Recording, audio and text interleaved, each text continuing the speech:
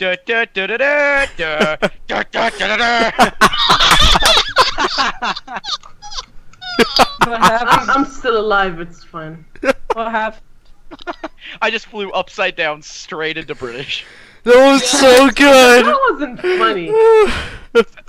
oh my god.